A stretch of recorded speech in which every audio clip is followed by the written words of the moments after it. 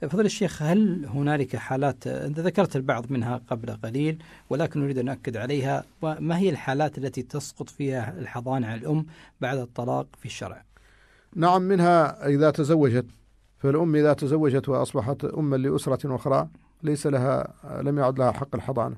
وكذلك إذا صالحت زوجها على حضانة أولاده فكان الخلع مثلا في مقابل أنها تسقط حقها في الحضانة وتسلم الأولاد إلى أبيهم. فيسقط حقها في الحضانة وكذلك إذا كانت عادمة لشرط من الشروط التي ذكرناها نعم.